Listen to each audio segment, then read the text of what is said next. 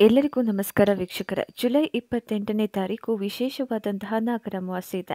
ಈ ವಿಡಿಯೋದಲ್ಲಿ ಈ ದಿನ ಯಾವ ಒಂದು ಉಪಾಯವನ್ನು ಮಾಡಬೇಕು, ಹೇಗೆ ಈ ಅಮಾವಾಸ್ಯೆಯ ಸಂಪೂರ್ಣವಾದಂತಹ ಫಲವನ್ನು ಪಡೆಯಬೇಕು ಅನ್ನೋದನ್ನು ನಾವು ತಿಳ್ಕೊಳ್ಳೋಣ. ಹಾಗಾಗಿ ಈ ವಿಡಿಯೋವನ್ನು ಕೊನೆವರೆಗೂ ನೋಡಿ. ಅದಕ್ಕೂ ಮುನ್ನ ಈ ವಿಡಿಯೋವನ್ನು ಲೈಕ್ ಮಾಡಿ ಹಾಗೆಯೇ ನೀವು ಕೂಡ ಶಿವನ ಭಕ್ತರಾಗಿದ್ದರೆ ಓಂ ನಮ ಶಿವಾಯ ಅಂತ ಕಮೆಂಟ್ ಮಾಡಿ ತಿಳಿಸಿ.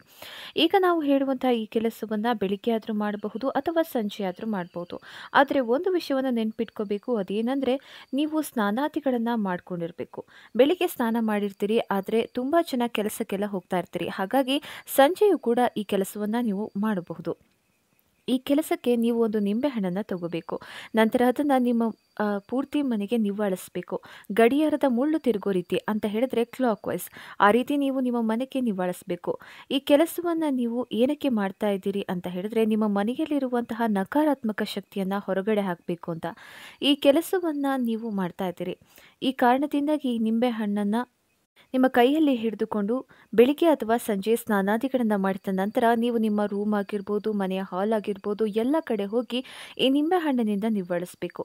ನಂತರ ನಿಮ್ಮ ಮನೆಯ ದೇವರ ಮನೆಗೆ ಬಂದು ಈಗ ನಾವು ಹೇಳುವಂತಹ ಈ ಒಂದು ಈ ಮಹಾ ಮೃತ್ಯುಂಜಯ ಮಂತ್ರವನ್ನು ನೀವು ದೇವರ ಮುಂದೆ, ನೀವು ನಿಮ್ಮ ಕೈಯಲ್ಲಿ ನಿಂಬೆಹಣ್ಣನ್ನು ಹಿಡ್ಕೊಂಡು ನೀವು ಹೇಳಬೇಕು. ಆ ಮಂತ್ರ ಯಾವುದು ಅಂತ ಹೇಳಿದ್ರೆ, ಓಂ ತ್ರಯಂಬಕಂ ಯಜಾಮಹಿ ಸುಗಂಧಿಂ ಪುಷ್ಟಿವರ್ಧನಂ ಊರ್ವರುಕಾಮಿವ ಬಂಧನ ಮೃತ್ಯೋರ್ಮುಕ್ಷಿಯ ಮಾಮೃತಾತ್. ಈ ಮಂತ್ರವನ್ನು ನೀವು ಕೇವಲ ಹ, ಹನ್ನೊಂದು ಬಾರಿ ಜಪಿಸಿದ್ರೆ ಸಾಕು. ನೀವು ನಿಮ್ಮ ಜೀವನದಲ್ಲಿರುವಂಥ ಸಾಕಷ್ಟು ಕಷ್ಟಗಳಿಂದ ಹೊರಬರ್ತೀರಿ. ವಿಶೇಷವಾಗಿ ಇದು ನಿಮ್ಮ ಮನೆಯಲ್ಲಿರುವ ನಕಾರಾತ್ಮಕ ಶಕ್ತಿಯನ್ನು ಹೊರಹಾಕುತ್ತೆ. ಇದಾದ ನಂತರ ಈ ನಿಂಬೆ ಹಣ್ಣನ್ನು ಮನೆಯಲ್ಲೇ ಇಟ್ಟು ಅದೇ ದಿನ ರಾತ್ರಿ ಹನ್ನೊಂದರಿಂದ ಹನ್ನೆರಡು ಗಂಟೆಯ ಒಳಗೆ ಈ ನಿಂಬೆ ಹಣ್ಣನ್ನು ನೀವು ತಗೊಂಡು ಹೋಗ್ಬಿಟ್ಟು ಮೂರು ದಾರಿಗಳು ಸೇರುವಂತಹ ಜಾಗದಲ್ಲಿ ಈ ನಿಂಬೆ ಹಣ್ಣನ್ನು ಹಾಕಿ ಹಿಂದೆ ಹಿಂದೆ ತಿರುಗಿ ನೋಡದೆ ಹಾಗೇನೆ ಬರಬೇಕು ಅಂತ ಹೇಳಿದ್ರೆ ನಿಮ್ಮ ಕೈಯಲ್ಲಿರುವಂಥ ಒಂದು ನಿಂಬೆಹಣ್ಣನ್ನು ಬಿಟ್ಟ ನಂತರ ಮತ್ತೆ ನೀವು ಆ ನಿಂಬೆಹಣ್ಣನ್ನು ನೋಡೋಕೆ ಹೋಗಬಾರ್ದು.